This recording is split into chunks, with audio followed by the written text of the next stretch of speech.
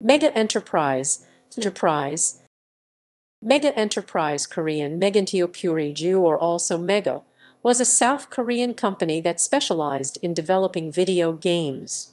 Mega Enterprise was best known for publishing and porting some of video game titles developed by Data East and Technos Japan to the PC for the Korean market as well as having developed two arcade-only games Pull Trigger released in 2003 and Metal Slug 4 with Noise Factory for the Neo Geo after the original developer, SNK went bankrupt.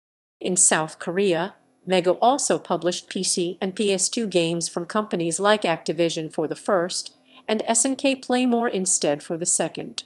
It also developed Metal Slug Online game for PC. Games published by Mega all games listed for each platform are published only in South Korea.